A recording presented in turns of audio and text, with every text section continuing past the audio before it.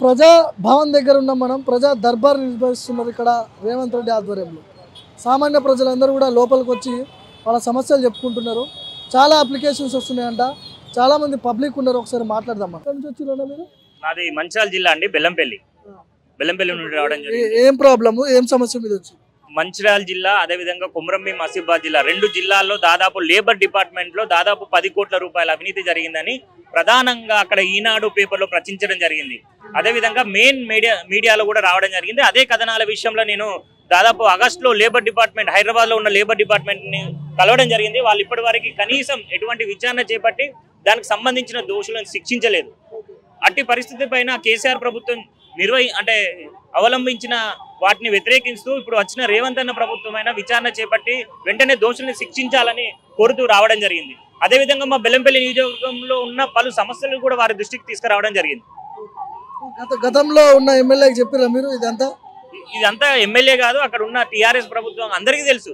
కానీ ఏంటంటే నిమ్మకు నీరెత్తినట్టు. వాళ్ళకి ఎప్పుడైనా దోచుకోవడం కావాలి భూమి కబ్జాలు జరగాలి అక్రమాలు జరగాలి ఎక్కడ డబ్బులు వస్తున్నాయి ఎక్కడ ఏమవుతుంది అనేది తప్ప ప్రజలకు ఎటువంటి ఇబ్బంది అవుతుంది? ప్రజా శ్రేయస్సు కోసం మనం ఏం చేయాలనేది ఎప్పుడు ఆలోచించలేదు. ఇది జరిగింది.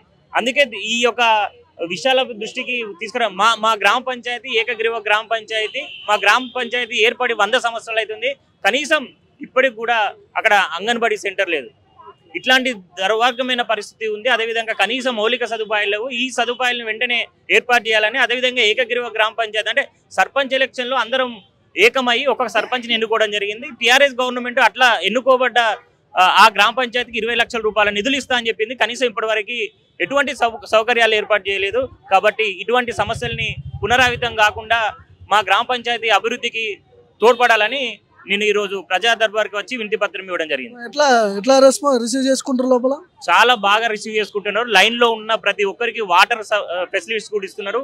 ఏమన్నా ఇబ్బంది ఉంటే కూర్చోడానికి కుర్చీలు కూడా ఇస్తున్నారు. ప్రతి ఒక్క మంత్రి ఎవరున్నా కూడా వాళ్ళు చాలా నవ్వుకుంటూ మీ సమస్య ఏంటి ఎక్కడి నుంచి వచ్చారు సంబంధించిన డిపార్ట్మెంట్కి అక్కడే ఉండి గ్రీన్ పెన్తో రాసి అక్కడ ఉన్న ఐఏఎస్ అధికారులు కానీ ఐపీఎస్ ఎవరన్నా కూడా వారికి అటాచ్డ్ చేసి ఖచ్చితంగా ఈ యొక్క సమస్య రిజిస్ట్రేషన్ చేసి ఆన్లైన్లో ఒక నెంబర్ ఇచ్చి ఆ సమస్య ఎక్కడి దాకా వచ్చింది ఏందని ఆన్లైన్లో చూసుకొని మీరు ఒకవేళ మీకు అంటే జరిగిన పరిణామాలు ఏమున్నా కూడా ఆన్లైన్లో ఎప్పటికప్పుడు జరుగుతుంది. అదేవిధంగా మీ సమస్య సాల్వ్కి హండ్రెడ్ టు హండ్రెడ్ పర్సెంట్ పరిష్కరిస్తా అని హామీ ఇవ్వడం జరిగింది. కొండ సురేఖ సురేఖ గారు కలవడం జరిగింది.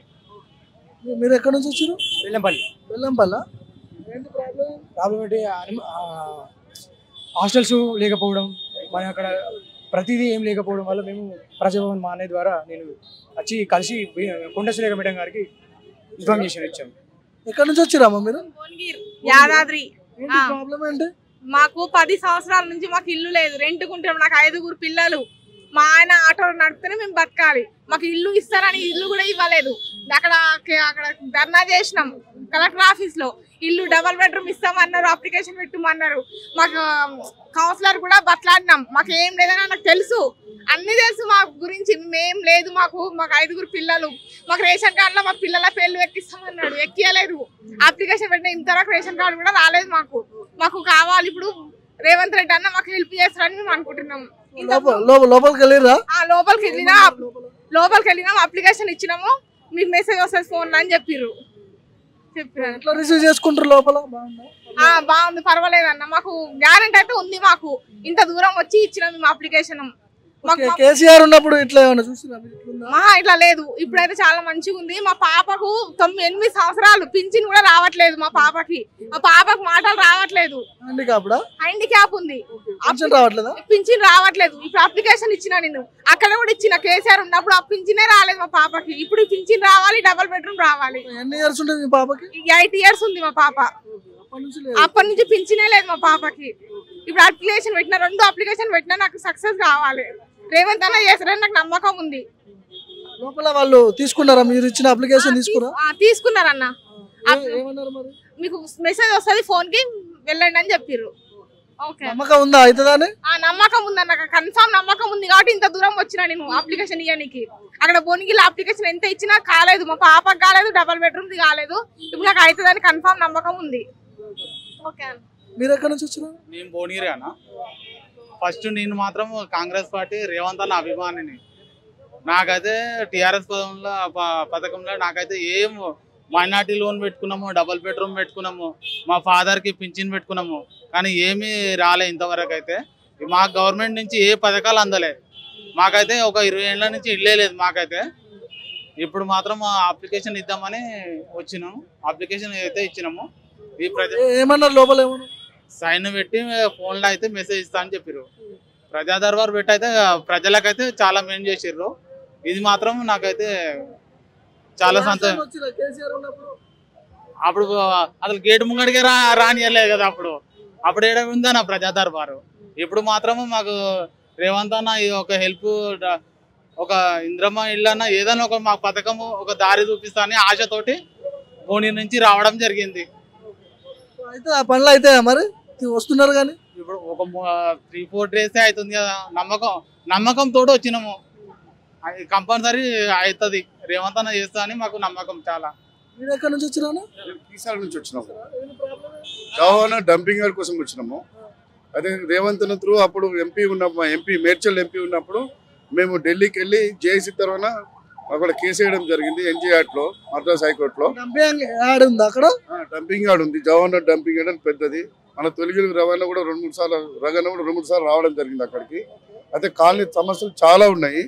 ఈ సమస్యల కోసం తీర్చాలని కోసం మా కాలనీ సమస్యల కోసము మేము అక్కడ రావడం జరిగింది. కొండా సురేఖ గారికి ఇవ్వడం జరిగింది.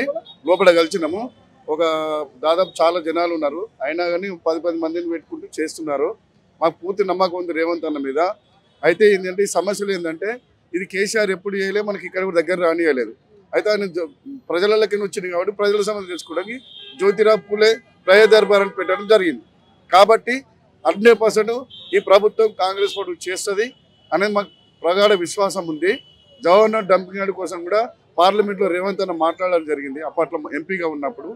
ప్రస్తుతం ఆయనకు డంపింగ్ యార్డ్ కోసం చాలా ఉంది. అక్కడ జవహర్లాల్ డంపింగ్ యార్డ్ తీసేయాలని చాలా కోరుకుంటున్నాం. అలాగే మాకు చిన్న రోడ్డు ఉంది. ఆ రోడ్డును పెద్ద వెడల్పు చేయమన్నాము. ఒకటే రేషన్ షాప్ ఉంది రెండు రేషన్ షాప్ చేయమని అన్నాము ఒక బస్ స్టాండ్ కట్టాలన్నాము ఒక షాపింగ్ లోన్ కట్టాలన్నాము ఒక కంపెనీలు కట్టాలన్నాము. ఈ అన్ని సమస్యల మీద వచ్చినాము రేవంత్ అన్న దగ్గరికి ఈ ప్రజావాణి పెట్టడం వల్ల ప్రజలకు అక్కడ లెటర్ ఇవ్వడం వల్ల మంచి మంచి మెసేజ్ జనాల్లోకి వెళ్ళిపోయింది. కాబట్టి ఇవన్నీ సమస్యలు నెరవేర్చాలని కోరుకుంటూ మేము ఇక్కడ పిల్లడం జరుగుతుంది యాక్సెస్ ఉందా? లోపలికి పోవడానికి మీ అందరి సామాన్యులకి? అందరికి ఉంది. అందరు అందరు గతంలో కంటే ఇది ఇప్పుడు ఇప్పుడు ప్రజల తెలంగాణ కాబట్టి ఇప్పుడు మేము అందరం నిమ్మలంగా పోతున్నాము. అక్కడ నీళ్ళు పెట్టిర్రు వాటర్ పెట్టిర్రు పెరుగు పెట్టిర్రు. ప్రజలకు ఏ ఇబ్బంది కాకుండా అన్ని సమస్యలు తీసుకుంటూ ఫోన్లకు ఆ నెంబర్ ఖచ్చితంగా ఆధార్ కార్డ్స్ పెట్టమంటున్నారు. అందరికి ఫోన్లకు మెసేజ్ వస్తుంది. ఏ అధికారి మీకు కలవాలి ఏ అధికారి ఎక్కడ కలవాలి అని చెప్పి చెప్పడం జరిగింది లోపల. నమ్మకం ఉంది ఆ పనులు అయితే పర్సెంట్ నమ్మకం ఉందన్న మాకు అవుతాయని. లే- నమ్మకం లేకుంటే జనాలు ఎందుకు వస్తారు ఇక్కడికి అందరు పనులు చేసుకోవడానికే వస్తారు కదనే. ఇంకెవరు ఉన్నారా? ఎక్కడి నుంచి వచ్చిరా మేడ్చల్ మల్కాజ్గిరి సార్. మాది మేడ్చల్ మల్కాజ్గిరి. మల్లారెడ్డి. ఏరియా. ఎట్లా గెలిపించిరా అండి మళ్ళా? మళ్ళీ గెలిపించారు కదా మేడ్చల్ ఇచ్చారు సార్. అయితే మాది మేడ్చల్ మల్కాజ్గిరి. దళిత బంధు పథకం రాలేదు. దళితులను ఎదగాలని మన ముఖ్యమంత్రి ఇప్పుడు తొలి ముఖ్యమంత్రి చెప్పడం జరిగింది. పారిశ్రామికవేత్తలుగా స్వయంగా ఉపాధి పథకం కింద. మీరు మంచిగా ఎదగాలి దళిత కుటుంబాలు బాగుపడాలి. అనేది ఈ నిర్ణయం మన రాష్ట్ర ముఖ్యమంత్రి రేవంత్ రెడ్డి తీసుకోవడం జరిగింది.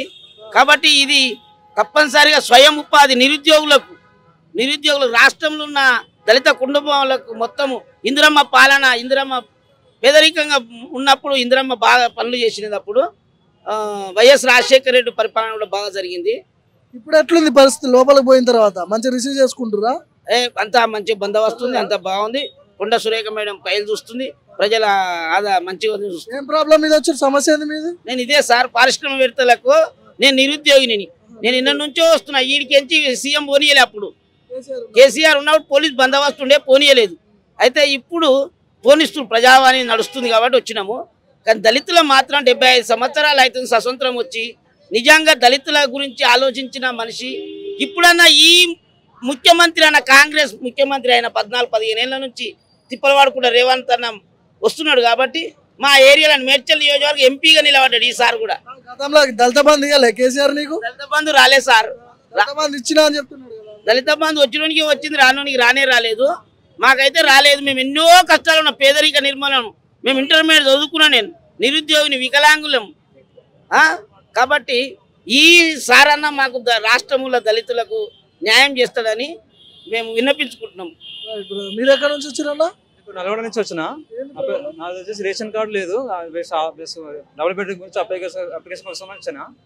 అంటే ఫోర్ ఫైవ్ ఇయర్స్ నుంచి నేను అప్లై చేస్తున్నా కానీ ఆన్లైన్లో వస్తుంది. మా మా దగ్గర రావట్లేదు అది. అప్లికేషన్ ఇచ్చినప్పుడు కూడా అది నెట్వర్క్ అది ఆన్లైన్లో ఆఫ్ చేస్తారు తర్వాత వస్తుంది అని చెప్పేసి ఇప్పటిదాకా అట్లే పెండింగ్ పెట్టారు అనమాట లోపలికి వెళ్ళి కలిసిరా మరి కలిసి అప్లికేషన్ ఇచ్చి ఫోన్ నెంబర్ రాసి మొత్తం ఇచ్చేసిన. అదే వాళ్ళు అప్లికేషన్ తీసుకున్నారు. ఇప్పుడైతే చేస్తామని చెప్పారు. ఫామ్ తీసుకొని వాళ్ళ దగ్గర పెట్టుకొని అది ఇస్తామని చెప్పారు. అదే మెసేజ్ తర్వాత మీకు మెసేజ్ వస్తుంది ఫోన్లోకి అని చెప్పారు అనమాట రిసీవింగ్ మంచిగా ఉంది. ఇంతకుముందు లెక్క అసలు ఈ గవర్నమెంట్ పాత గవర్నమెంట్ ఉన్నప్పుడు అసలు ఈ లోపలికి వచ్చేది కాదు అసలు. గేట్ బయట నుంచే ఆ, అప్పుడు గేట్ పెట్టిన వచ్చి అప్పుడు లోపలికి రాలేదు అసలు లోపలికి. అసలు బయట ఎట్లా లోపల ఎట్లా కూడా తెలియదు మనకు. కంచెలే ఉండే. ఫస్ట్ టైం మరి రావడం మన రేవంత్ రెడ్డి వచ్చిన తర్వాత ఫస్ట్ టైం లోపలికి పోవడం రిసీవ్ చేసుకోవడం అంతా బాగానే ఉంది. అసలు సీఎం అంటే అసలు రేవంత్ రెడ్డి గారు అసలు మెయిన్ అసలు ఫస్ట్ సీఎం అంటే. పనులు అయితే నమ్మకం ఉందా? పనులు అయితే నమ్మకం ఇందాక వచ్చినాం కదా అంత దూరం నుంచి వచ్చినాం కాబట్టి నమ్మకం ఉంది. ఇంతమంది వస్తున్నారు చాలా మంది ఎక్కడి నుంచి వస్తున్నారు కదా. రిసీవ్ చేసుకున్నారు కరెక్ట్ మంచిగా రిసీవ్ చేసుకున్నారు. వాళ్ళు చేస్తారని నమ్మకం ఉంది. ఎట్లా పేదల గురించి ఆలోచించే ప్రభుత్వం కాబట్టి వాళ్ళు కంపల్సరీ చేస్తారు వాళ్ళు. మీరు చెప్పండి కర్మన్ ఘట్ నుంచి వచ్చాను. సీఎం రిలీఫ్ ఫండ్ కోసం పెట్టాను అప్పుడు సీఎం రిలీఫ్ ఫండ్ పెట్టాను అప్పుడు రాలేదు. ఎనిమిది నెలలు తొమ్మిది నెలలు కేసీఆర్ హయాంలో పెట్టినావు. కేసీఆర్ హయాంలో పెట్టిన. ఎనిమిది నెలలు తిరిగినా కూడా అప్పుడు వస్తుంది ఇప్పుడు వస్తుంది అన్నారు రాలే. ఇప్పుడు వచ్చి దా అప్లికేషన్ ఇచ్చిన దాని జిరాక్స్ హాస్పిటల్ ఇచ్చిన వాళ్ళు ఏమి ఇవ్వలే అక్లాట్మెంట్. వస్తుంది పో అన్నారు అంతే. ఇప్పుడు ఈమె మేడం ఏమో అప్లికేషన్ జిరాక్స్ తెమ్మంటే జిరాక్స్ ఏ తీసుకొని మేడానికి కలిసిరు లోపల? కొండా సురేఖ. తీసుకున్నది అంతా రాసుకున్నది. కేసీఆర్ ఉన్నప్పుడు వచ్చినావు ఎట్లను ఎప్పుడన్నా? ఇక్కడ రా వచ్చినాం కానీ ఇక్కడ లోపలికే పోనీయలేరు కదా. మొత్తం ముళ్ళ కంచెలాగా కంచె పెట్టుకున్నాడు ఇంటి ముందు. ఇక ఈయన వచ్చినాకనే తీపిచ్చిండు కదా. ప్రజలు బాగానే బుద్ధి చెప్పారు కదా మరి. అందుకే కదా చెప్పింది. తొమ్మిదేళ్ళ నుంచి చెప్పదెబ్బలు తిన్నాడు కదా. అందుకే హాస్పిటల్లో పడినాడు రెండు దినాలలో. రెండు దినాలలో వండుకున్నాడు అంత. ఎట్లా మరి? నమ్మకం ఉందా? పనులు అయితే మన ఈసారి? అవుతాయి. పక్కా. ఇది హండ్రెడ్ పర్సెంట్ గ్యారంటీ. లోపల ఎట్లుంది? ఎట్లా రిసీవ్ చేసుకుంటారు మంచిగా. ఇటువంటిది ఎప్పుడూ చూడలే మేము ప్రభుత్వం. ఇన్ని సంవత్సరాలలో. మా నాకు అరవై ఎనిమిది ఏళ్ళు ఇప్పటి వరకు ఇటువంటి ప్రభుత్వాన్ని చూడలేదు. అందరు. ఇటువంటి ఆఫీసర్లు ఇటువంటి గవర్నమెంట్ మేము చూడలేదు. నా సిక్స్టీ ఎయిట్ ఇయర్స్లో. ఫస్ట్ టైం ఇట్లాంటి ప్రభుత్వం వచ్చింది. సౌకర్యాలు ఎట్లున్నాయి? వాటర్ అలాంటివి బాగా వీల్ చైర్లో తీసుకెళ్ళిండ్రు నాకు చేత కాదంటే.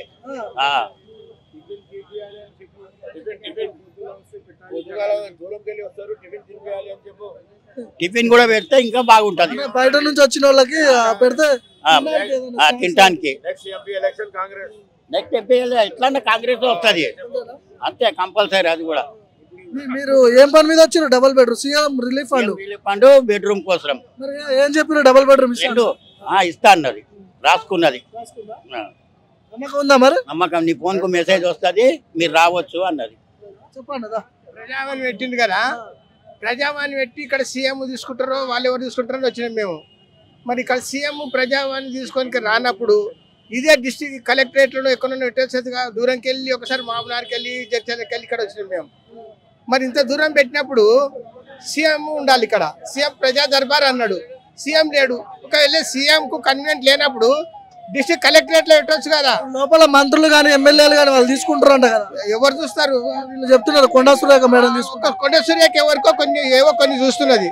ఆడ ఆడ ఏమంటే ఇది కొంచెం పబ్లిక్ పబ్లిక్ లోపలికి వెళ్ళిరా లోపలికి పోయిరా లోపలికి వెళ్ళినా గంట సేపు కూర్చున్నా పాస్బుక్ తప్పు రాస్తే కూడా నేను ఇంతకుముందు కలెక్టరేట్ అయితేమో అది కార్యానికి ఇక్కడ వచ్చినాము.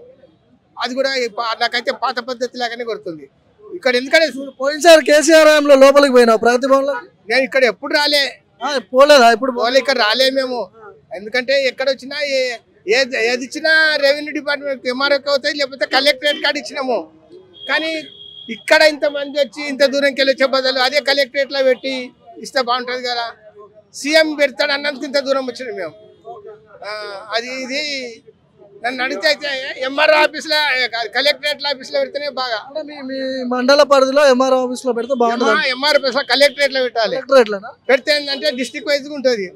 ఇక్కడ ఇప్పుడు ఇక్కడ పెట్టిరు కదా అన్ని కలెక్టర్ ఆఫీస్ పెట్టుకొని వచ్చిండ్రు అది అది చెత్తకుండల బుట్టలేక అయిపోయినాయి అన్ని ఆడ. నువ్వు అన్నది కూడా కరెక్టే. మనకు దగ్గరలో ఉన్న ప్రాంతాల్లో పెడితే అందరూ పోతారు. ఇక్కడ దాకా రావాల్సిన అవసరం ఉండదు. ప్రాబ్లం ఎంత కష్టం ఉన్నది. రైట్ రైట్ నాకు డెబ్బై ఏండ్లు. డెబ్బై ఏండ్లు. వీడికొచ్చి వీళ్ళ కలెక్టర్ సీఎం వస్తాడేమో ఎవరు చెప్తాడో తీసుకుంటాడో పాస్బుక్ తప్పు రాసినట్టు ఉరికొచ్చినాం ఇప్పుడు కూడా నాకంత కరెక్ట్గా అనిపిస్తలేదు మాట్లాడదాం. చెప్పండి ఫ్యాన్ అన్న మేము. లాస్ట్ టైం మీరు మమ్మల్ని అన్న మీడియా తరఫున మీడియా తరఫున ప్రజా గొంతుక తరఫున భార్గవ అన్న మీరు మాకు హెల్ప్ హెల్ప్ కూడా చేశారు. లాస్ట్ టైం మేము హోమ్లో ధర్నా చేసినప్పుడు మమ్మల్ని అందరినీ పిఎస్ పెట్టినప్పుడు మీరు దగ్గర పిలిపించారు. టెన్ ఇయర్స్ అవుతుంది అన్న.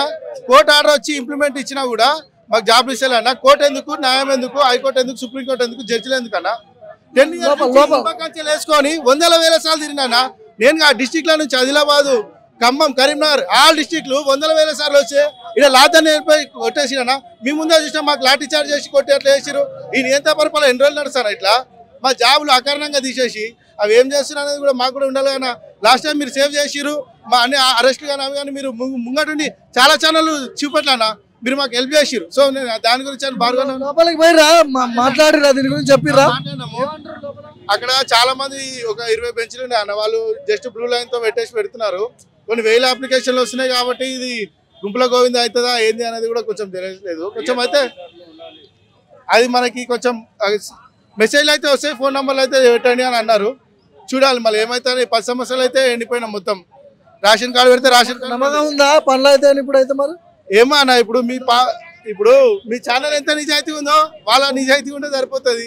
మన దొంగ దొంగలు ఉల్లంచుకొని అందరూ ఒకటే మేము అంతా ఒకటే మీరు ఒకటే అన్నట్టుగా మన మహేష్ బాబు అంటుంటే కొంచెం హాస్పిటల్లో అందరు చూస్తుంటే వాతావరణము పబ్లిక్ కొంచెం బాధ అయితే ఉందన్న ఎందుకంటే ల్యాండ్ కేసులలో కూడా వెళ్తే మా ల్యాండ్ కేసులలో కూడా వాళ్ళు లాయర్లకి జడ్జిలకి ధమ్కి ఇచ్చేసి ఈ టెన్ ఇయర్స్లలో అసలు ఫైల్ ఫార్వర్డే కాదు మూమెంట్ కూడా కాలేదు ఇప్పటికి.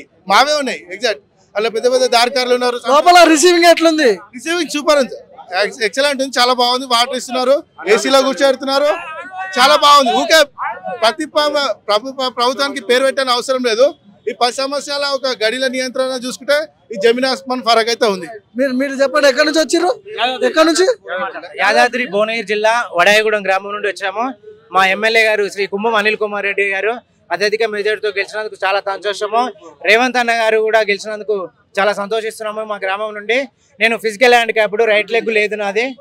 అదేవిధంగా మేము మేడం కొండ సురేఖ గారిని కలిసి దేవాదాయ శాఖ మంత్రి కొండ సురేఖ గారిని కలిసి మా బాధలు విన్నవించుకున్నందుకు చాలా సంతోషంగా ఉన్నది. ఏం సమస్యలు ఏమున్నాయి?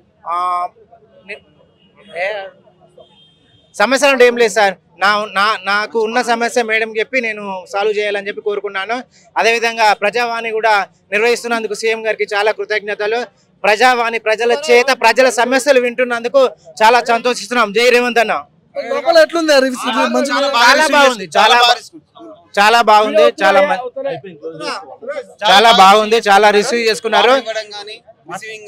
చాలా బాగా తీసుకుంటున్నారు. అప్లికేషన్లు కానీ రెస్పాన్స్ కానీ చాలా బాగున్నది. ఈ పాలన మంచి పాలన అందించాలని కోరుతున్నాం. దూరం నుంచి వచ్చేటోళ్ళకి అన్ని సౌకర్యాలు ఉన్నాయి లోపల మరి? కూర్చోబెట్టి వాటర్ ఇచ్చాడు ప్రగతి భవన్ ఫస్ట్ టైం పోయినాము. తొమ్మిది సంవత్సరాల నుండి కూర్చోబెట్టి వాటర్ ఇచ్చాడు. మొదటి ముఖ్యమంత్రి మరోసారి కూడా మళ్ళా గెలుస్తున్నారని కూడా కోరుకుంటున్నాం. గతంలో ఎప్పుడైనా వచ్చిన కేసీఆర్ ఉన్నప్పుడు ప్రగతి భవన్? ఈ ఇరవై రెండు ఫీట్ల హైట్ కంచె ఉండే చాలా వాహనదారులకు కూడా చాలా ఇబ్బందికరంగా ఉండే.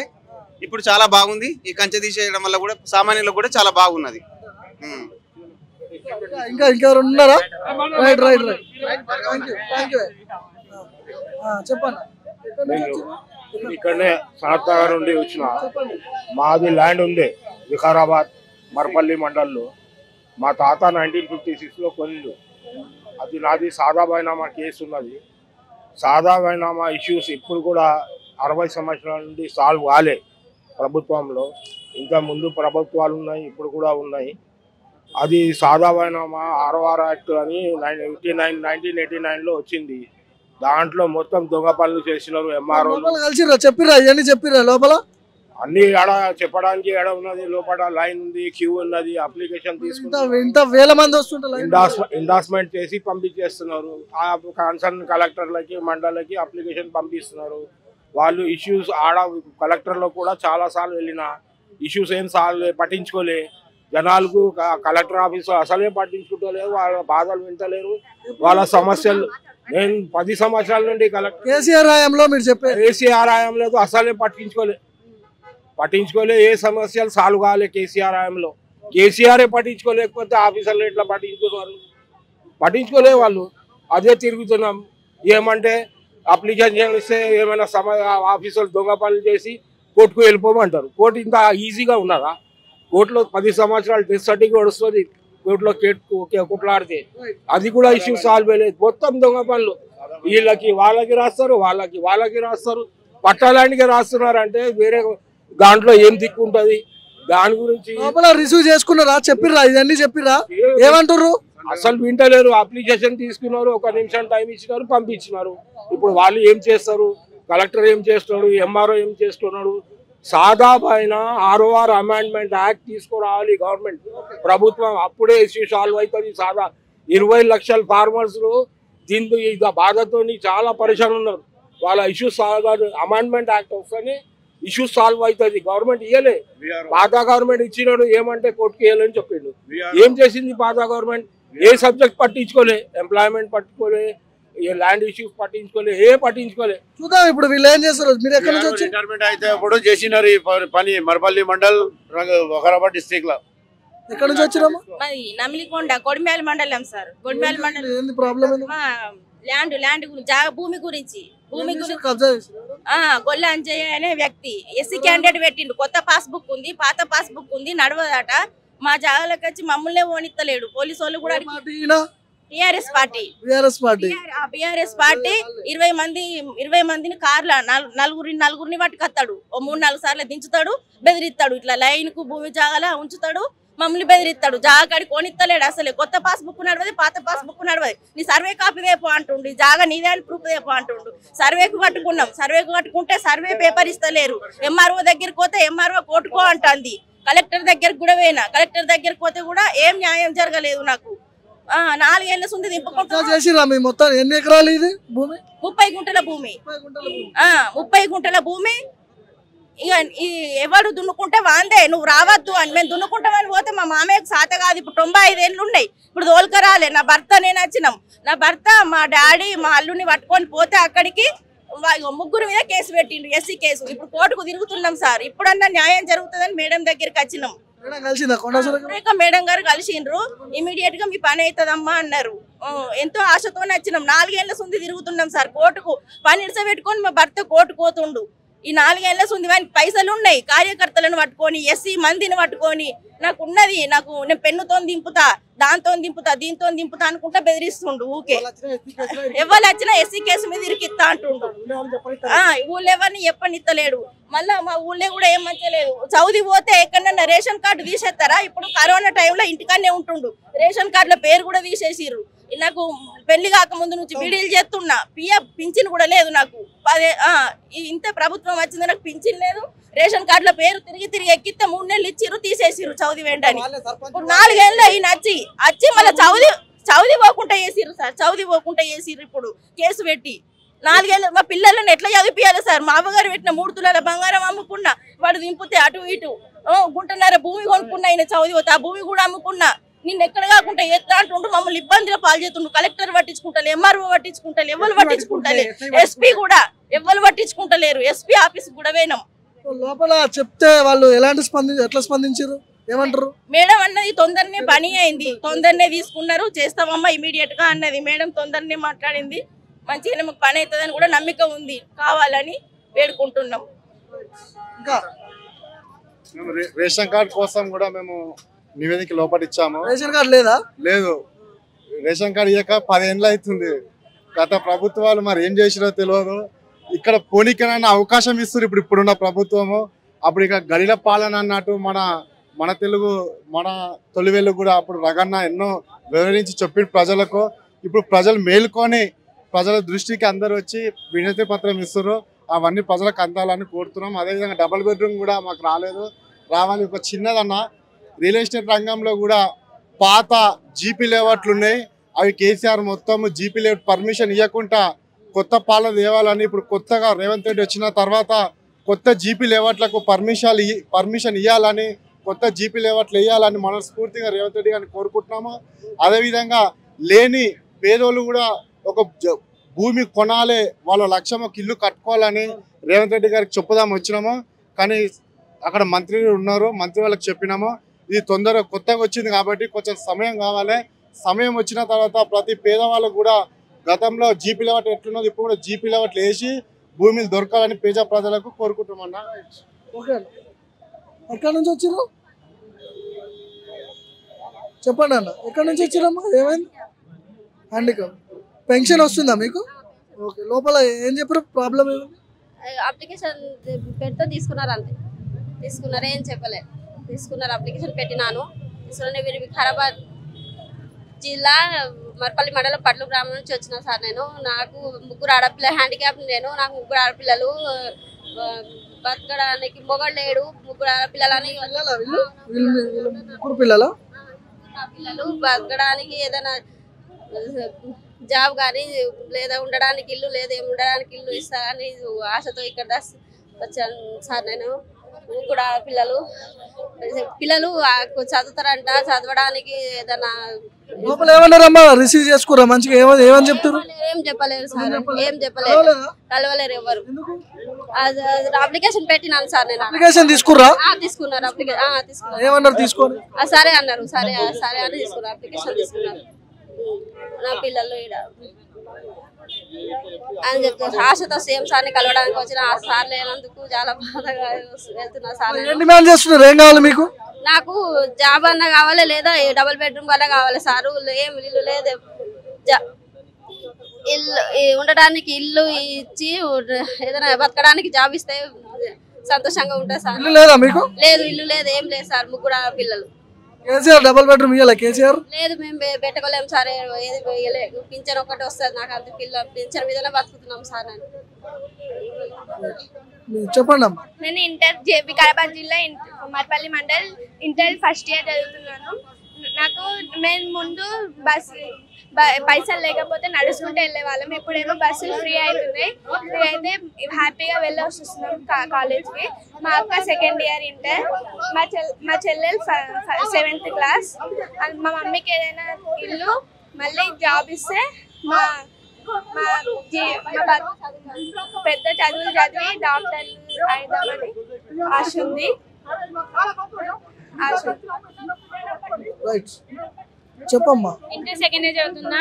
మాకు ఒక మా మమ్మీకి ఒక చిన్న డబల్ బెడ్రూమ్ ఒక చిన్న జాబ్ ఇస్తే మేము మంచి చదువుకొని డాక్టర్ ఐఎస్ఎస్ కావాలని కోరుకుంటున్నాం. గతంలో ఎప్పుడైనా వచ్చిరా? లాస్ట్ టైం వచ్చిరు? ఇక్కడికి ఎప్పుడైనా?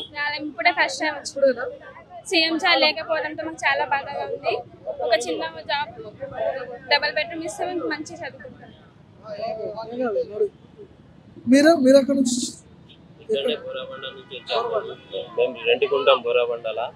ఇల్లు లేదని ఇంటి డబల్ బెడ్రూమ్ ఇంటి కోసం అప్లికేషన్ పెట్టుకుందామని వచ్చాము. ఇంతకుముందు మాకు ఏం లేదు ఇల్లు లేదు. పది పదిహేను సంవత్సరాల నుంచి బోరాబండలో రెంట్కుంటాను మేము లేబర్ పనికి వెళ్తాం అన్నమాట లోపల రిసీవ్ మంచిగా రిసీవ్ చేసుకున్నారు. ఎవరు సార్ని కలుద్దామని వచ్చినామని సార్ లేకపోవడం అన్నది చాలా బాధ ఉంది. అప్లికేషన్ ఏమైనా పెట్టిరా? అప్లికేషన్ పెట్టినాము. తీసుకున్నారు అప్లికేషన్ సార్ వాళ్ళు. అప్లికేషన్ తీసుకున్నారు. ఇక్కడే ఇప్పుడు గత ప్రభుత్వం కంటే మీరు మీరు? Medchal Sivakrishna Kesani from Medchal youth Congress. Actually ఈరోజు నేను మా బ్రదర్ వంశీ యాదవ్ కేసాని ఈరోజు ప్రజా దర్బార్కి రావడం జరిగింది. లోపల చాలా అద్భుతంగా ఉంది. వివిధ ప్రాంతాల నుండి చాలా మంది జనాలు వారి యొక్క వినతి పత్రాలను ఇవ్వడం జరిగింది. లోపల కొండ కొండా సురేఖ గారు వాళ్ళ వినతి పత్రాలని తీసుకొని వారి యొక్క సమస్యలని ఏమేమి కావాలో వాళ్ళకి తెలియజేస్తుంది. అక్కడ పిఏ గారు కూడా ఉన్నారు చాలా అద్భుతంగా ఉంది. వాటర్ కూడా లోపల మంచి సప్లై చేస్తున్నారు. చాలా అద్భుతంగా ఉంది. రేవంత్ రెడ్డి అన్న సమక్షంలో ఈ యొక్క దర్బార్ చాలా బాగుంది. అప్పట్లో రాజశేఖర రెడ్డి గారు ఇది ఒకటి చేసినాడు. ఇప్పట్లో రా అన్నగారు చేస్తున్నారు. జై కాంగ్రెస్. జై తెలంగాణ. సో ఇది ఎక్కడి నుంచి వచ్చిరా? ఎక్కడి నుంచి వచ్చిరా నేను నర్సాపూర్ నియోజకవర్గము నర్సాపూర్ నియోజకవర్గం నుండి వచ్చిన అక్కడ అక్కడ కాంగ్రెస్ పార్టీ కోసం పనిచేసిన ఆ, కార్యకర్తల ఇండ్లు కులగొడుతుండు మున్సిపల్ కమిషనర్. ఇప్పుడు గెలిచిన సునీతారెడ్డి గారి ప్రోద్బలంతో ఎందుకు వచ్చిర్రు? ఏం ప్రాబ్లం మీద వచ్చిర్రు? ఏం పని? అదే నర్సాపూర్ ఎన్జిఓస్ కాలనీ సఫా మసీద్లో నమాజ్ చేపించే ఇమాం షేక్ మునీర్ ముఫ్తీ మునీర్ యొక్క ఇల్లును మున్సిపల్ కమిషనర్ నోటీస్ ఇవ్వకుండా కూలగొట్టేసిండు. ఎందుకంటే ఆయన కాంగ్రెస్ పార్టీ కోసము ప్రచారం చేసిండు. ఇప్పుడు ఆ సునీత లక్ష్మారెడ్డి నర్సాపూర్ నియోజకవర్గంలో బీఆర్ఎస్ పార్టీ నుంచి ఎమ్మెల్యేగా గెలిచింది. గెలిచి ఈ ముస్లింల ఓట్ల కోసము ఈయన ప్రచారం చేసి నాకు మెజారిటీ రాకుండా చేసిండు అనేసి ఉద్దేశంతో మున్సిపల్ కమిషనర్ ద్వారా ఇల్లును కూలగొట్టించిర్రు. దీనికి ఆ మసీద్లో ఇమాం ముఫ్తీ మునీర్కు న్యాయం జరగాలని ఈ మన సీఎం రేవంత్ రెడ్డి గారికి వినతి పత్రం ఇచ్చినాము. కలిసిరా? లోపల ఏమంటారు మరి? లోపల తీసుకున్నారు జస్టిస్ చేపిస్తామన్నారు తప్పకుండా జస్టిస్ అవుతుంది మీకు న్యాయం జరుగుతుంది. ఆ మున్సిపల్ కమిషనర్ను సస్పెండ్ చేపిస్తాము అని చెప్పినారు. దా. ఒక్క నిమిషం వస్తున్నా. చూడవచ్చు చూడొచ్చు పబ్లిక్ చాలా మంది లోపలికి పోయి వస్తున్నారు. వీళ్ళందరూ కూడా వేరే వేరే నియోజకవర్గాల నుంచి వస్తున్న ప్రజలు పబ్లిక్ వీళ్ళందరూ కూడా. ఓ టైం అయిపోయిందంట మొత్తానికి ప్రజావాణి. లోపల నుంచి వచ్చే వాళ్ళే వస్తున్నారు కానీ బయట నుంచి లోపలికి అయితే వెళ్ళే పరిస్థితి లేదు. మొత్తానికి ప్రజావాణి అంటే ఒక పరిధి పెట్టరు ఒక టైం పెట్టరు ఆ టైం వరకే ప్రజల సమస్యలు చూసుకునే పరిస్థితి కనిపిస్తూ ఉంది ఇక్కడ. మొత్తానికి ప్రజలు అంటే చాలామంది రావడం వల్ల అందరి సమస్యలు అందరి అప్లికేషన్లు పోకపోవచ్చు. కొన్ని వేల మంది ప్రజలు వస్తున్న నేపథ్యంలో సో కొన ఒక కొంతమంది రిజెక్ట్ అయ్యి అంటే రిజెక్ట్ అవ్వడం అంటే తీసుకోలేని పరిస్థితి ఉండవచ్చు ముఖ్యమంత్రి నేరుగా తీసుకునే పరిస్థితి ఉండకపోవచ్చు. ముఖ్యమంత్రి లేకపోతే మంత్రి తీసుకోవచ్చు మంత్రి లేకపోతే ఎమ్మెల్యే తీసుకోవచ్చు. సో మొత్తానికి ఎవరో ఒకళ్ళు అయితే అప్లికేషన్ తీసుకుంటున్నారు. మరి న్యాయం జరుగుతుందా లేదా అనేది మనం చూడాలి. కెమెరా పర్సన్ గణేష్తో భార్గవ్ మనతోలి వెలుగు ప్రజాభవన్ నుంచి.